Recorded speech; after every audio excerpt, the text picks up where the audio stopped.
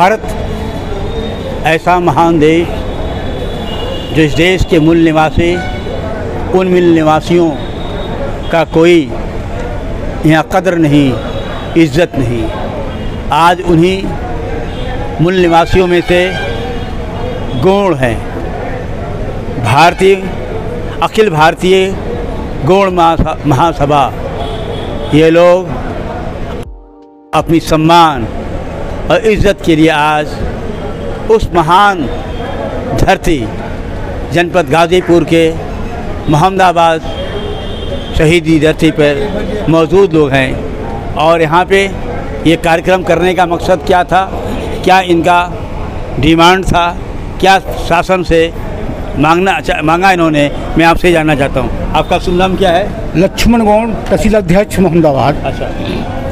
हमारी मांग थी कि हमारे अधिकारी गण कह रहे हैं कि मोहम्मदाबाद में गौड़ जात नहीं पाए जाते हैं। तो ये हमारा प्रोग्राम हर साल ज़िले पर चलता था। लेकिन मैंने असो तहसील पर बनाया कि ये लोग कहते हैं बार बार कि यहाँ गौड़ जात नहीं पाए जाते हैं। तो इसलिए हम इन लोगों को दिखाने के लिए इन लोगों को दिखाने के लिए हाँ। मैंने अपना प्रोग्राम यहाँ रचा कि मैं दिखा दे कि मैं गौड़ हूँ कि नहीं हूँ। हाँ जी। तो मैंने एसडीएम साहब को यहाँ बुलाए पत्रक दिए अच्छा। कि हम गुण हैं। उन्होंने कुछ दो बात बोले भी। तो हमने कहा कि सर हमारी मुख्य मुद्दा जो है हमारी जात है। हमारी जात नहीं बन रही है। हाँ। हमारी बच्चे जो हैं अनाथ पड़े हुए हाँ। हैं। नौकरी नहीं मिल रही है। दर दर के ठोकर खा रहे हैं। तो हम कब तक इस तरह से जीते रहेंगे? अगर हमारा जात अगर नहीं बनेगा तो इसके लिए हम लखनऊ तक आंदोलन करने के लिए मरने के लिए तैयार हैं।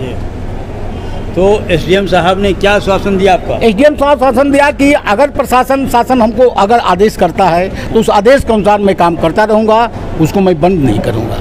शासन द्वारा आदेश सही है। ये लोग कहें कि शासन का आदेश जो है नहीं आ पा रहा है सही नहीं आ रहा है। उसमें लगाया जा रहा है एक लकड़ी लगा दिया जा रहा है जैसे कि जारी किया जाए। हाँ। तो उसमें लिखा जा रहा है उस आदेश में कि ये जो है जात प्रमाण पत्र जात चढ़ करके, आख्या ले करके, अगर ये लोग नाना प्रकार की चीज़ें, तेरह सौ उनसठ, तेरह सौ छप्पन तो हमारी अनुसूचित जात जात के पास तेरह सौ छप्पन है, न तेरह सौ उनसठ है तो उसको मैं कहाँ से दे पाऊँगा?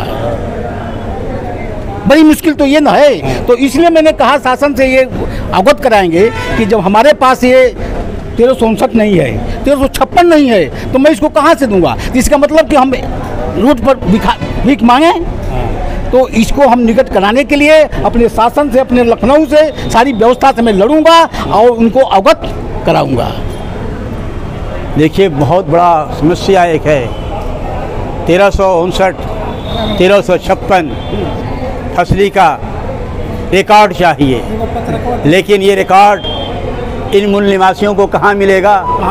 इनके पास न घर है न द्वार है न खेत है, न ज़मीन है, इस देश के मूल निवासी हैं। लेकिन यहाँ के मूल निवासियों को जिस तरह से यहाँ की जो सत्ता आई, आर्यन समाज आया जिसने हटा करके अपने आप को कब्जा कर लिया और वही सबसे बड़ा मूल निवासी हो गया। और असल देश के मूल निवासी जो हैं, आज फिर बिना मूल निवासी के हो गए हैं। अब मोहम्मदाबाद धरती से 18 अगस्त 1942 को इसी धरती से एक क्रांति उठी थी देश की आज़ादी के लिए।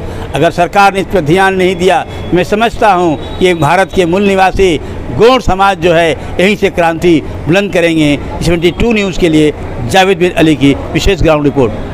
एक एक युवा और लोग बैठे हुए हैं बुज़ुर्ग भी हैं। मैं इनसे जानना चाहता हूँ कि आप लोग यहाँ पे आए हैं किस बात को रख कर के आए हैं और अपने समाज के लोगों को क्या संदेश देना चाहते हैं और जो आपके साथ अन्याय हो रहा है इसकी लड़ाई कैसे लड़ेंगे आप लोग? जी सबसे पहले मैं बता दूँ कि मेरा नाम विष्णु गोंड परस्ते हैं। मैं एक गोंड जाति का हूँ। और हम लोग आदिवासी समुदाय से बिलोंग करते हैं। यहाँ पे हम लोग इकट्ठा हुआ है रान, रानी दुर्गावती जी का बलिदान दिवस मनाने के लिए।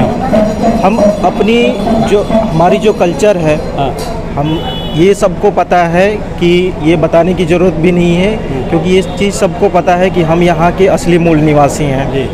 और असली मूल निवासी हैं हम हमारी जो कल्चर है उस कल्चर के लिए हम लड़ाई लड़ते हैं और अपनी कल्चर से ही हम जो भी संस्कार होता है तीन संस्कार होते हैं। हाँ। ये जन्म संस्कार मृत्यु संस्कार और विवाह संस्कार। हाँ। ये तीनों संस्कार हम अपनी कल्चर से ही करते हैं।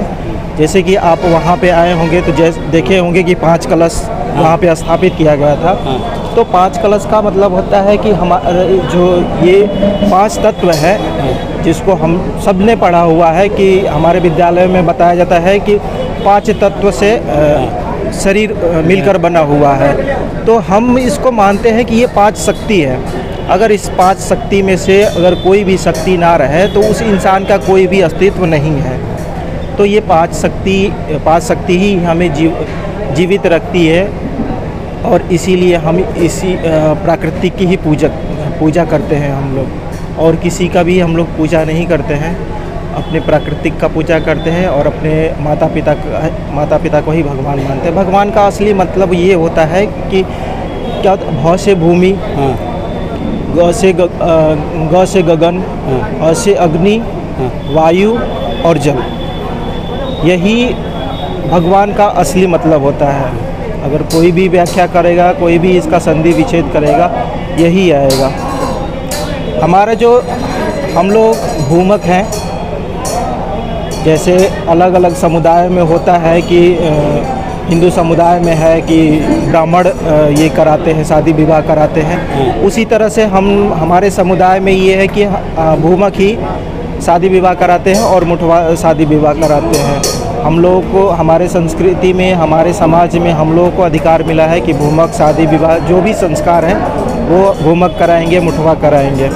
क्या आप लोग ब्राह्मण समाज को मानते नहीं हैं? जी ब्राह्मण समाज को हम मानते हैं।